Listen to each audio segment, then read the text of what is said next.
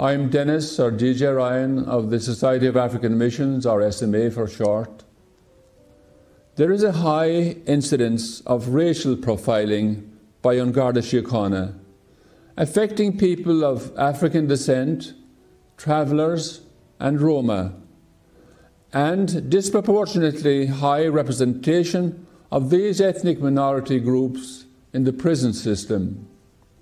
Ireland should review the policy, practices, and training of Garda Síochána in collaboration with the communities of most affected by racial profiling.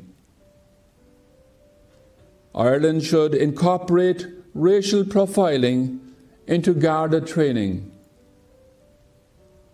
Ireland should fully implement the Garda diversity and integration strategy of the years 2019 to 2021.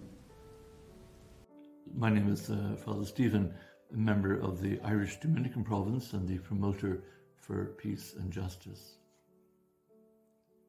The UN Committee for the Elimination of Racial Discrimination is concerned about the high incidence of domestic, sexual, and gender based violence in direct provision centres. It notes further concern about the ongoing practice of female genital mutilation and the ineffective enforcement of the criminal law Female Genital Mutilation Act of 2012. Ireland should ensure that migrant women who are victims of domestic violence, sexual and gender based violence, and female genital mutilation are guaranteed a legal stay of their residence until they recover and have the option to remain in the country. Provide victims with necessary assistance and services, including shelters and access to justice. Ensure that cases of such violence are investigated and prosecuted. Perpetrators are punished and victims are provided with effective remedies. Provide training for police officers and immigration officers in order to ensure that they are well equipped to deal with the intersectional nature of the domestic violence and sexual gender based violence experienced by migrant women.